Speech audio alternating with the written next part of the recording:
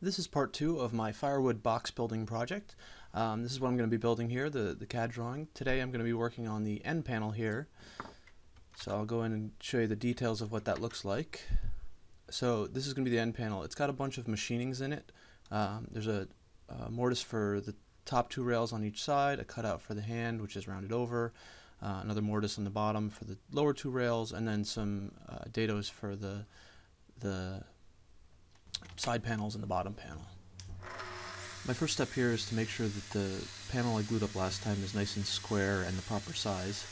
So I first use my speed square and my guide track to make sure that one end is perpendicular to the other, and then I use my parallel guides to make sure that the other end is parallel to that, and that'll make the whole panel nice and square.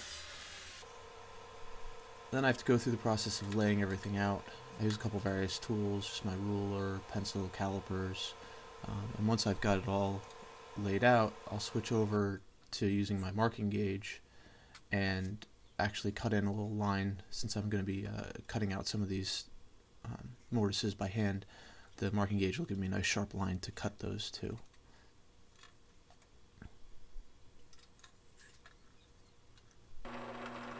So with that done, then I uh, drill some holes for the mortises.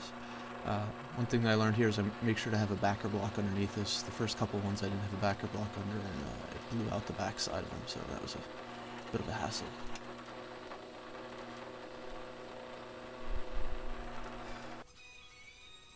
After that, I go through and I uh, very quickly chisel out the holes to be square here. Uh, this takes a little time consuming, but it's not too bad. Um, you could actually buy a square punch if I was going to do a bunch of these, but there's only eight of them, so it's easy enough just to do it with a, uh, a hammer and a chisel. Just take some my time, be a little patient, and they turn out pretty well.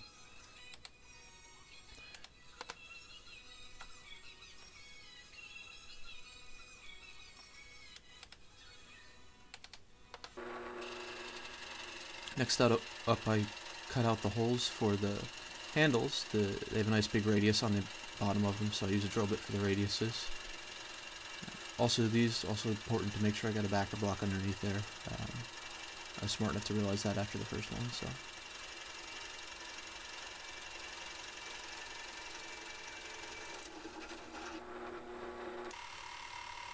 Then I use my jigsaw to finish up those cutouts.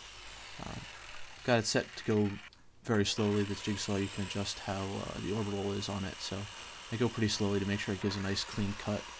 Uh, so I don't have to do as much sanding as it went a little faster and it's a little easier to control.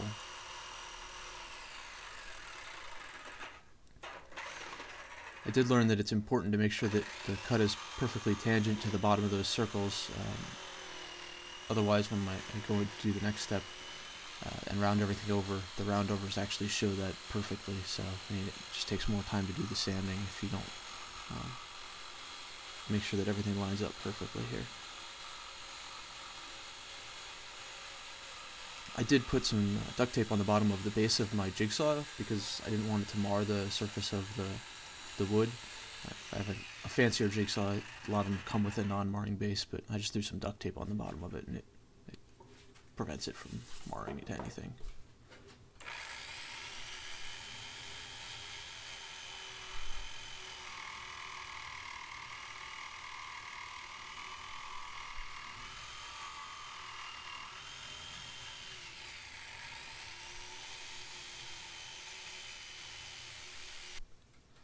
And I switch over to my little uh, DeWalt router.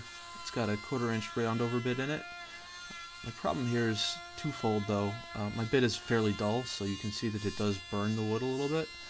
And then also the bearing on the bottom of it is very large, so it doesn't get into the corners. So I've got the router table set up here to cut the slots in the ends of the box for the plywood. So it's going to run from here to here.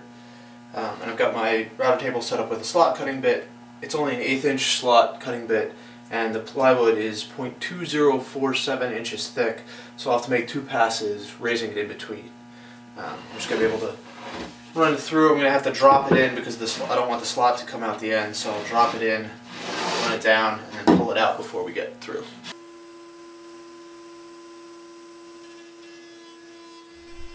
I ran into an issue here that the dust collection actually sucked the board into the bit, so I had to be very careful when I was dropping it in to make sure it didn't snap in.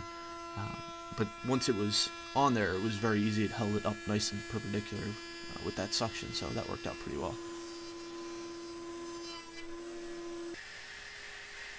And then I just used my little handheld router to cut the bottom dado. I had to make a couple passes here to get it to the right depth and the right width, and that was it. Thanks for watching this part. Um, tune in next time where I'll make the, the rails and the plywood parts for the rest of the box. Thanks for watching.